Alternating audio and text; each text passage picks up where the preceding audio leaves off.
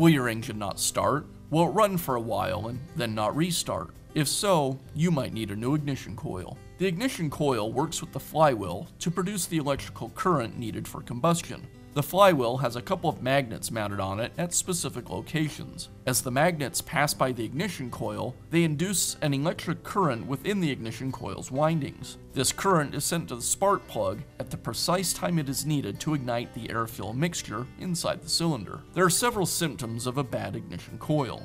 Sometimes it'll start and run, but then suddenly turn off. Other times the engine starts and runs, but then won't restart until it is cooled off. Replacing the ignition coil is a repair that you can do yourself, and I'm going to show you how. I'll begin by removing the top cover.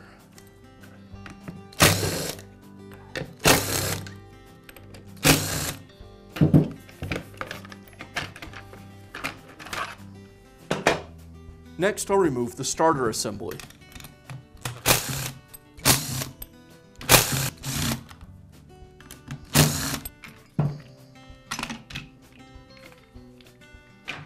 Now remove the ignition wire from the spark plug and one of the kill wires from the ignition coil.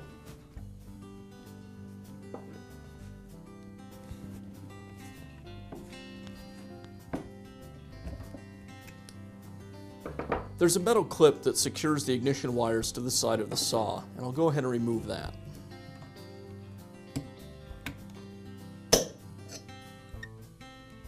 Now remove the ignition module from the saw. It's held in place with a couple of screws. I'll slide the ignition wire forward to get access to the front screw. You'll also notice that the grounding wire is attached with that screw as well.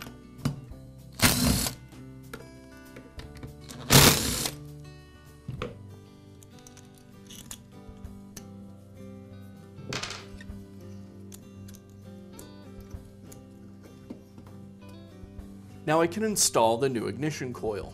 As I install the new ignition coil, I need to take the wires from the wiring harness and put them up in this little recess near the brake handle. Then as I install the ignition coil, I'll bring the wire around and put them on top of the wires on the wiring harness.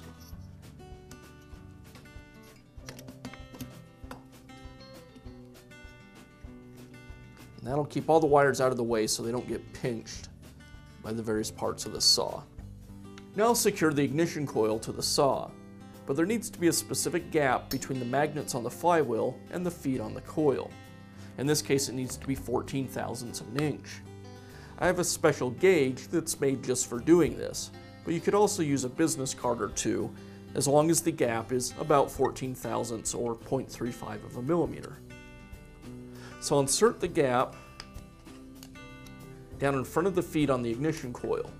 And then I'll rotate the magnets on the flywheel around until they line up with the feet on the ignition coil.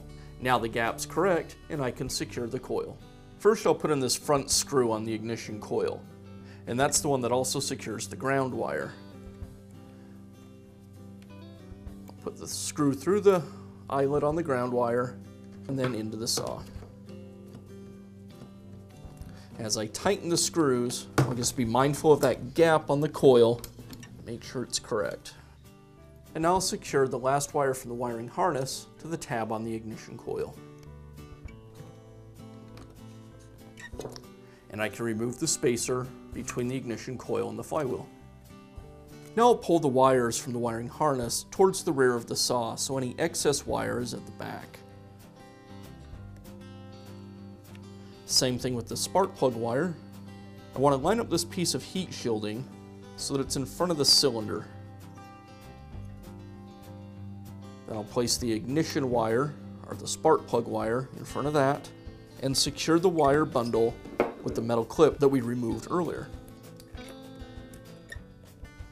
Now reinstall the starter assembly.